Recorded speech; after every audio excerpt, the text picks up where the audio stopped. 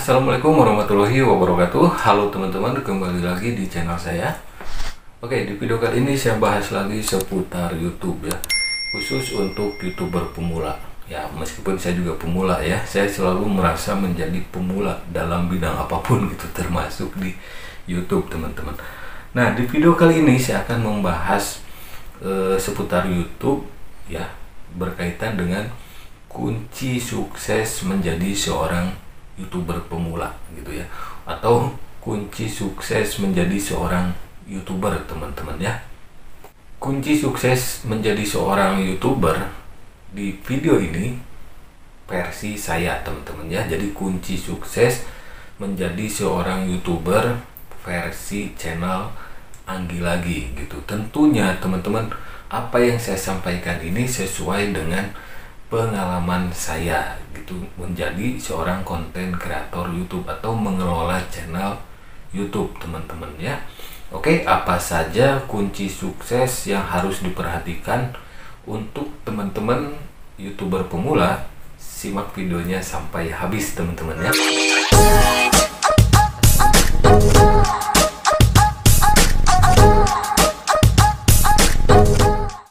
Oke teman-teman, untuk kunci sukses menjadi seorang youtuber pemula yang pertama adalah menentukan niche atau topik atau kategori bukan kategori sih ya kalau niche itu topik channel YouTube teman-teman semua. Artinya apa? Teman-teman sebelum membuat channel YouTube, teman-teman harus memikirkan dulu nih mau bikin konten tentang apa gitu, topiknya tentang apa ya nis nis nis itu topik teman-teman ya. Nis itu topik. Jadi teman-teman harus menentukan topiknya dulu. Misal teman-teman topiknya karena suka mancing gitu ya topiknya pengen mancing ah konsisten dulu di mancing gitu ya.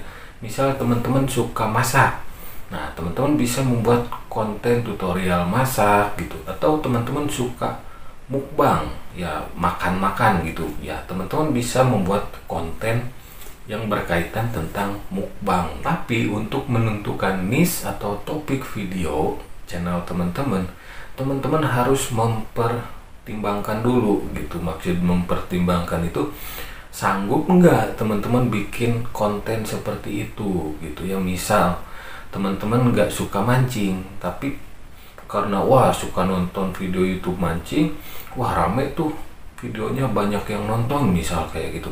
Tapi teman-teman sendiri nggak suka mancing. Nah itu susah. Teman-teman nanti akan terbebani gitu. Atau misalkan teman-teman suka nonton video di channel YouTube yang uh, apa ya mukbang gitu. Mukbang makan makanan pedas gitu kan. Makanan seafood terus apa pun itu makanan-makanan ya uh, yang kontennya mukbang makan-makan gitu Nah, teman-teman bikin channel itu, tapi teman-teman nggak terlalu suka makan gitu. Misal, teman-teman itu nggak suka terlalu pedas makanannya gitu ya. Terus teman-teman itu jarang keluar rumah gitu kan.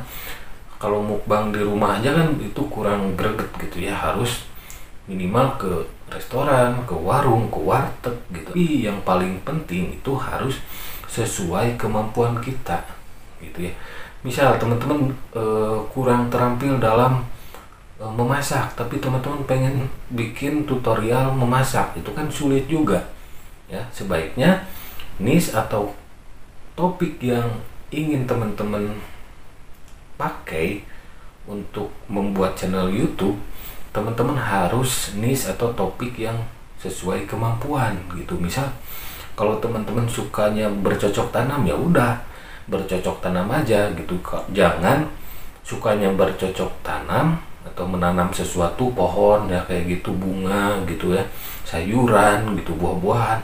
Lebih baik itu. Jangan sampai teman-teman sukanya non eh, apa ya sukanya bercocok tanam tapi teman-teman malah bikin kon konten mancing misal.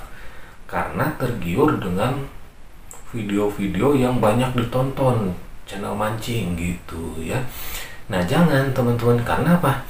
Karena di YouTube itu punya penontonnya masing-masing gitu ya. Penonton mancing ada penontonnya masing-masing.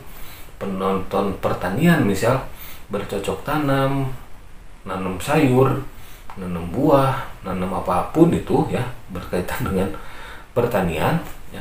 Itu juga pasti ada penontonnya gitu. Jangankan pertanian dan mancing gitu. Gaming pun banyak penikmatnya gitu ya penontonnya atau pemirsanya. Jadi jangan jangan sampai teman-teman berpikir wah kalau bikin konten kayak gini nggak ada yang nonton nih gitu. Dicoba aja dulu teman-teman karena setiap aktivitas setiap hobi itu pasti banyak komunitasnya gitu ya. Misal komunitas mancing banyak. Komunitas pecinta pohon anggur misal. Banyak. Kebetulan teman-teman sukanya bercocok tanam gitu ya. Bisa buat konten menanam anggur misal seperti itu ya. Jadi intinya nis atau topik konten saran saya teman-teman harus sesuai kemampuan kita. Selanjutnya kunci sukses yang kedua teman-teman yaitu adalah semangat teman-teman ya kenapa semangat? Ya kalau nggak semangat kita nggak bisa ngapa-ngapain gitu ya. Jangankan bikin video nyari konten nyari bahan konten nyari ide pun kita nggak akan bisa gitu. Kalau kitanya nggak semangat gitu teman-teman. Jadi harus tetap semangat teman-teman ya. Meskipun viewsnya dikit yang nonton dikit gitu tapi kembali lagi ke diri kita. Kita itu bukan artis teman-teman ya bukan pejabat bukan tokoh masyarakat mungkin ya seperti itu. Kita hanya orang biasa yang ingin tampil gitu di YouTube ya. Jadi kita harus bekerja keras. Ya namanya orang biasa gitu kan. Orang biasa nanti nanti juga pasti dikenal gitu teman-teman ya.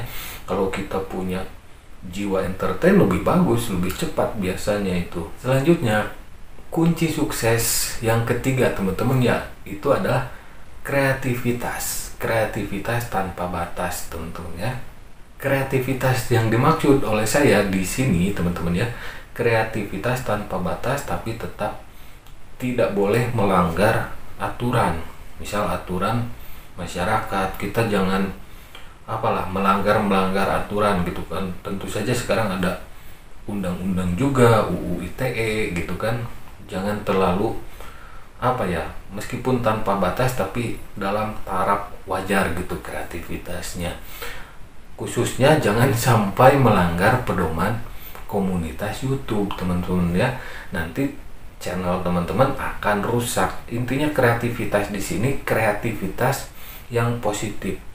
Kalau bisa bermanfaat untuk penonton teman-teman semua yang menyaksikan channel YouTube teman-teman semua. Hampir tiap hari mungkin ada nanti uh, subscriber teman-teman yang setia nunggu video-video teman-teman ya Selanjutnya, kunci sukses menjadi seorang YouTuber yang keempat, teman-teman, yaitu adalah konsisten.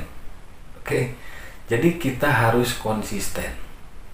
Jadi intinya kita harus konsisten menjadi seorang YouTuber kalau ingin menjadi seorang YouTuber.